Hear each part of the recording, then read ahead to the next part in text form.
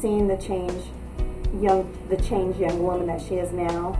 I am so proud of her, um, her leadership ability. I found motivation, you know, just having to depend on myself, I guess. She's overcome many hurdles, um, you know, not only financially, but um, emotionally, just everything. She's not the same young lady that she was four years ago.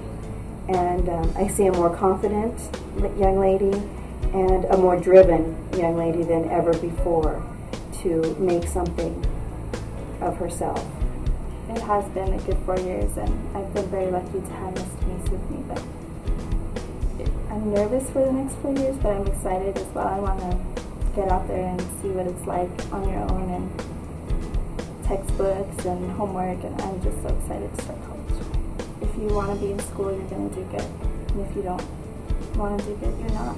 And so I think you just have to make up that decision in your own heart, and that's what I did. Really, is I wanted this for myself. I wanted to be successful, and so it's all about what you want, and it's all about your attitude towards your school and how you're, how you're getting through your assignments. And, She's a leader in her own right.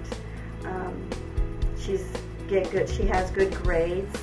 Very proud of her. She she tries and strives hard um, with everything she does. She puts her whole heart into it. I think I'll remember the, the hard times the most because they made me stronger.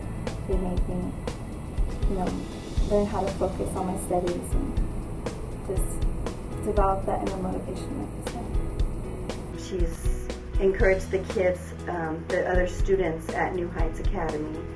Um, she's just inspired them to keep going and wanting to go to college and um, come back and help the kids, the, the community at in Commerce City.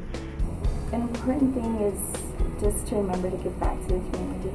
I received a lot of help throughout high school and I want to be that person who helps too. Graduation is so important to me. My parents didn't graduate high school I'll be the first one to attend a university. It's a, it's a big achievement in the family and I'm so excited.